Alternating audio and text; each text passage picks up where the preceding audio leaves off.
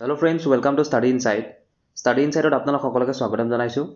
আৰু গতিকে এইটো ভিডিঅ'ত আমি আছাম জিঅ'গ্ৰাফীৰ পাৰ্ট ফাইভ আলোচনা কৰিম আৰু thirty important M C Qs লোৱা হৈছে আৰু সেইখিনি আমি আলোচনা কৰিম এইটো ভিডিঅ'ত। গতিকে বাকী পাৰ্ট ওৱানৰ পৰা পাৰ্ট ফ'ৰলৈকে ভিডিঅ'বোৰ যদি আপোনালোকে চোৱা নাই তেতিয়াহ'লে ডেছক্ৰিপশ্যনত থকা লিংকত ক্লিক কৰি পেলাই আপোনালোকে সেই ভিডিঅ'বোৰ চাব পাৰিব। আৰু যদি আপোনালোকে প্লে লিষ্টত ডাইৰেক্টলি ভিজিট কৰে তেতিয়াহ'লে সেই ভিডিঅ'বোৰ চাব পাৰিব। আৰু এইখিনিতে জনাওঁ যদি চেনেলটি নতুনকৈ ভিজিট কৰিছে চেনেলটি ছাবস্ক্ৰাইব কৰি ল'ব। কাষতে থকা বেল আইকনটি ক্লিক কৰি ল'বলৈ নাপাহৰিব যিকোনো ভিডিঅ'ৰ নটিফিকেশ্যন অতি সহজতে পাবলৈ। So' let start the video' and the first question of today session is what is the other name of Bordoisila or pre monsoon গতিকে যিটো বৰদৈচিলা অসমত বৰদৈচিলা আপোনালোকে নিশ্চয় জানে বৰদৈচিলা বুলি কোৱা হয়। চতৰ মাহত যিটো বৰদৈচিলা হয় তো সেই বৰদৈচিলা বা সেই প্ৰি মনচুনটোক অসমত আকৌ কি নামেৰে জনা যায় সেইটো সোধা হৈছে and it is remember tea shower tea shower বুলি কোৱা হয় কাৰণ সেই সময়ত চাহ গছে নতুন পাত লয় আৰু সেইবাবে টি চাৱাৰ বুলি কোৱা হয় যিদৰে মেংগ' চাৱাৰ বুলি কোৱা হয় মনত ৰাখিব কেৰেলা গোৱা বা কৰ্ণাটকা সিপিনে যেতিয়া প্ৰথম জাক বৰষুণৰ ফলত যিটো আম পকিবলৈ লয় ৰাইপেনিং অফ মেংগ' ষ্টাৰ্টেড তো সেই সময়ক মেংগ' চাৱাৰ বুলি কোৱা হয়। ঠিক একেদৰে অসমত যিটো বৰদৈচিলা বা প্ৰি মনচুন হয় তো সেই সময়ৰ যিটো চাৱাৰ হয় যিটো বৰষুণ হয় তাক আমি টি চাৱাৰ বুলি ক'ব পাৰোঁ right so' coming to the next question question number thirty two so' ইয়াতে থাৰ্টি ওৱানৰ পৰা ষ্টাৰ্ট কৰিছোঁ যিহেতু লাষ্ট ছেশ্যনটো আমি ওৱানৰ পৰা থাৰ্টিলৈকে কমপ্লিট কৰিছিলোঁ। So' question number thirty two which monsoon rain is received in Assam আৰু অসমত কোনবিধ মৌচুমী বৰষুণ হয় মনচুন ৰেইন হয় সেইটো সোধা হৈছে। And remember it is south west monsoon গতিকে অসমত যিটো ৰেইন হয় যিটো মৌচুমী বতাহৰ ফলত ৰেইন হয় সেইটো আচলতে দক্ষিণ পশ্চিম মৌচুমী বতাহ সদায় কওঁ মই যে চাউথ ৱেষ্ট মনচুন আপোনালোকে সৰুতে কিতাপত নিশ্চয় পঢ়িছিলে যে দক্ষিণ পশ্চিম মৌচুমী বতাহৰ ফলত অসমত বৰষুণ হয় ঠিক আছে? গতিকে মনত ৰাখিব চাউথ ৱেষ্ট মনচুনৰ কাৰণে অসমত বৰষুণ হয় বৃষ্টিপাত হয়। তো next question question number thirty three which natural hazard hits Assam most গতিকে কোনবিধ প্ৰাকৃতিক দুৰ্যোগে অসমক আটাইতকৈ বেছি হিট কৰি যায় আটাইতকৈ বেছি ক্ষতি সাধন কৰে সেইটো সোধা হৈছে and definitely it is flood right আৰ্থকুৱেকো যদি হয় কিন্তু আৰ্থকুৱেকতকৈ ফ্লাড বেছি হয় এভৰি ইয়াৰ ফ্লাডে বহুত বিভীষিকাৰ সৃষ্টি কৰে অসমত। So' next question number thirty four য'ত সোধা হৈছে the bank erosion in Majuli started from which year earthquake গতিকে কোন বছৰ ভূমিকম্পৰ পৰা মাজুলীৰ যিটো ইৰজন যিটো মাজুলী ৰিভাৰ আইলেণ্ড তাৰ যিটো ভূমিস্খলনটো বেছিকৈ ষ্টাৰ্ট হৈছে বেছিকৈ আৰম্ভ হৈছে সেইটো কিমান চনৰ ভূমিকম্পৰ ফলত and it is nineteen fifty ঊনৈছশ পঞ্চাছ চনৰ ভূমিকম্পৰ পিছৰ পৰা মাজুলীৰ যিটো ইৰজন সেইটো বহুত বেছি পৰিমাণে বাঢ়িছে right question number thirty five in which year the disastrous flash flood for the first time occurred in Goalpara district গতিকে পোন প্ৰথমবাৰৰ বাবে এটি ধ্বংসাত্মক বানপানী বুলি ক'ব লাগিব। ফ্লাড আহিছিলে বান আহিছিলে গোৱালপাৰা ডিষ্ট্ৰিক্টত সেইটো সোধা হৈছে and it is in two thousand four দুহেজাৰ চাৰি চনত পোন প্ৰথমবাৰৰ বাবে এনেকুৱা ধ্বংসাত্মক বানপানী আমি গোৱালপাৰা ডিষ্ট্ৰিক্টত দেখিবলৈ পাইছিলোঁ। Question number thirty six the Chandubi lake was formed in which year due to earthquake গতিকে যিটো প্ৰসিদ্ধ চান্দুবি লেক সেইটো কেনেকৈ গঠন হৈছিলে আৰু কোনটো ভূমিকম্পৰ ফলত হৈছিলে কেতিয়াৰ ভূমিকম্প সেইটো সোধা হৈছে and it is of eighteen ninety seven's earthquake তো ওঠৰশ সাতানব্বৈ চনৰ যিটো ধ্বংসাত্মক ভূমিকম্প বাৰ জুন তাৰিখ সংঘটিত হৈছিলে আৰু তাৰ ফলত চান্দুবি লেক গঠন হৈছিলে। Question number thirty seven which is the oldest coalfield in Assam and it is Makum right so' Makum is the oldest coalfield Makum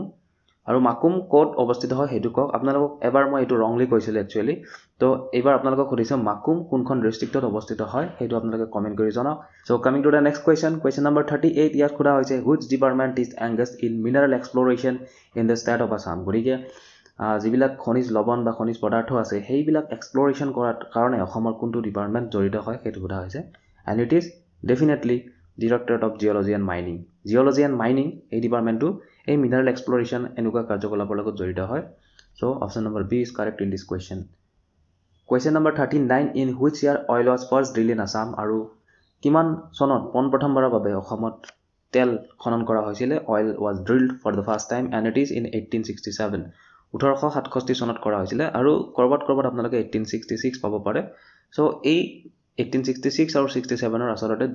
দুটা বছৰৰ মাজত হৈছিলে তো ক'ৰবাত আপোনালোকে ছিক্সটি ছিক্স পাব পাৰে ক'ৰবাত ছিক্সটি ছেভেন পাব লাগে both are correct as I know' both are correct তো ইউকিপিডিয়াত আপোনালোকে এইটিন ছিক্সটি ছিক্স পাব পাৰে হয়তো। নেক্সট কুৱেশ্যন নম্বৰ ফৰ্টি ইয়াতে সোধা হৈছে first oil was drilled near which of the following river গতিকে প্ৰথমবাৰ যিটো অইল ড্ৰিল কৰা হৈছিলে সেইটো কোনটো নদীৰ ওচৰত কৰা হৈছিলে সেইটো সোধা হৈছে and it is near Namdang river remember Namdang river উজনি অসমৰ নামদাং নদীৰ পাৰত ঠিক আছে? ফৰ্টি ওৱান নম্বৰ কুৱেশ্যন ইয়াতে সোধা হৈছে how many oil refineries are there in Assam আৰু অসমত ট'টেল কিমানটা ৰিফাইনাৰী আছে কিমানটা শোধনাগাৰ আছে সেইটো সোধা হৈছে and it is definitely four আৰু কি কি হয়? ডিগবৈ ৰিফাইনাৰী আপোনালোকে নিশ্চয় জানে the oldest refinery Digboi refinery অসমত হয়। দুই নম্বৰতে হয় Numaligarh refinery Numaligarh Numaligarh refinery then আপোনাৰ গুৱাহাটী ৰিফাইনাৰী বা আমি নুনমাটি ৰিফাইনাৰী বুলি ক'ব পাৰোঁ। নুনমাটি প্ৰপাৰলি কওঁ যদি Noonmati refinery or Guwahati refinery and finally আমি ক'ব পাৰোঁ Bongaigaon refinery right Bongaigaon refinery question number forty two which is the largest oil refinery in Assam আৰু লাৰ্জেষ্ট বুলি ক'লে কোনটো অইল ৰিফাইনাৰী হয়? সেইটো হয় ডিগবৈ ৰিফাইনাৰী ৰাইট গতিকে ডিগবৈ শোধনাগাৰটো আটাইতকৈ ডাঙৰ হয়। তো নেক্সট ইয়াতে question number forty three in which year the Assam oil company was formed গতিকে আছাম অইল কোম্পানী কিমান চনত স্থাপন কৰা হৈছিলে সেইটো সোধা হৈছে and it is in eighteen ninety nine remember eighteen ninety nine forty four number question ইয়াতে সোধা হৈছে the oil India limited was formed in which year গতিকে অইল ইণ্ডিয়া লিমিটেড যিটো O' I L oil India limited কিমান চনত গঠন হৈছিলে কিমান চনত স্থাপন হৈছিলে সেইটো সোধা হৈছে ইন নাইনটিন ফিফটি এইট ঊনৈছশ আঠাৱন্ন চনতে হৈছিলে অইল ইণ্ডিয়া গঠন হৈছিলে right which part of Assam has maximum limestone deposit গতিকে যিটো চোন হিল লাইমষ্টন আটাইতকৈ ক'ত বেছি পোৱা যায় আৰু আপোনালোকে মনত ৰাখিব কাৰ্বি আংলঙত পোৱা যায় বহুত বেছি পৰিমাণে আৰু কিছু পৰিমাণে আমি ডিমা হাছাওত পাওঁ ৰাইট গতিকে কাৰ্বি আংলঙত য'ত পাওঁ আমি সেইটো হৈছে কাৰ্বি প্লেটিউ। কাৰ্বি যিবিলাক প্লেটিউ আছে এই প্লেটুবিলাকত যথেষ্ট ডেপজিট পাওঁ আমি লাইমষ্টনৰ গতিকে মনত ৰাখিব মেক্সিমাম লাইমষ্টন আমি কাৰ্বি প্লেটিউবিলাকতহে পাওঁ। So' correct answer is option number B Karbi plateau. Question number forty six in which of the following hills in Goalpara quartz is found গতিকে কোৱাৰ্চ ক'ত পোৱা যায়? গোৱালপাৰা ডিষ্ট্ৰিক্টৰ কোনখন পাহাৰত আচলতে পোৱা যায় সেইটো সোধা হৈছে। And remember it is abundantly found in Panchratna hill right Panchratna হিলত যথেষ্ট পৰিমাণে কোৱাৰ্চ আমি পাওঁ right quartz to question number forty seven pink granite has been discovered in which hill of Goalpara district গতিকে গোৱালপাৰা ডিষ্ট্ৰিক্টৰ ক'ত যিটো পিংক গ্ৰেনাইট গোলপীয়া ৰঙৰ গ্ৰেনাইট দেখিবলৈ পোৱা যায় আৱিষ্কৃত আৰু সেইটো হৈছে মনত ৰাখিব অজগৰ হিলছ ৰাইট অজগৰ হিলত আমি পিংক গ্ৰেনাইট দেখিবলৈ পাওঁ। প্ৰথম অজগৰ হিলত গোৱালপাৰা ডিছকভাৰ হৈছিলে pink granite right question number forty eight kaolin is use to manufacture what আৰু কাউলিন কি মেনুফেকচাৰ কৰিবলৈ ব্যৱহাৰ কৰা হয় তো কাউলিন ক্ৰকাৰী ইউজ কৰিবলৈ ব্যৱহাৰ কৰে crockery question number forty nine which raw' material is use for iron and steel industries গতিকে আইৰণ আৰু ষ্টীল ইণ্ডাষ্ট্ৰিত কোনবিধ ৰ' মেটেৰিয়েল ব্যৱহাৰ কৰা হয় and it is definitely iron ore iron ore মানে আইৰণৰ আকৰিক যিটো অ'ৰ মানে আপোনালোকে গম পায় যিকোনো এটা পদাৰ্থ যেতিয়া সেই যেতিয়া অশুদ্ধি মিহলি হৈ থাকে সেই গোটেই পদাৰ্থটোক আমি অ'ৰ বুলি ক'ব পাৰোঁ।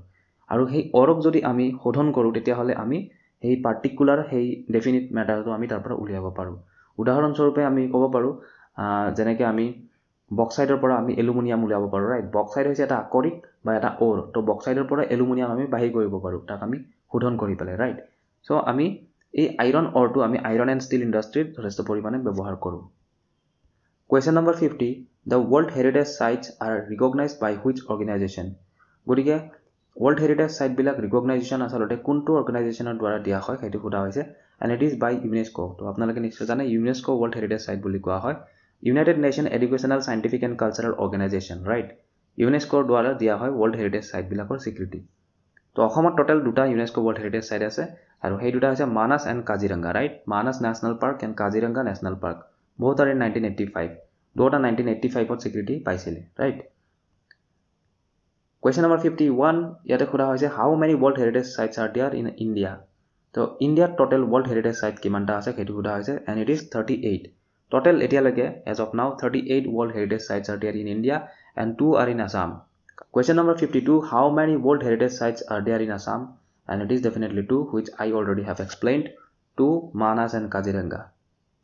question number fifty three UNESCO' world heritage convention was held in the year গতিকে ইউনেস্ক' ৱৰ্ল্ড হেৰিটেজ কনভেনশ্যন যিটো হৈছিলে আৰু সেইটো কেতিয়া হৈছিলে সেইটো সোধা হৈছে and it was it was in nineteen seventy two ঊনৈছশ বাসত্তৰ চনত হৈছিলে right next question in which year the world heritage sites were declared in Assam আৰু অসমত কেতিয়া ডিক্লেয়াৰ কৰা হৈছিলে আৰু সেইটো নাইনটিন এইট্টি ফাইভত যিটো মই অলৰেডি কৈছিলোঁ যে ঊনৈছশ পঁচাশী চনত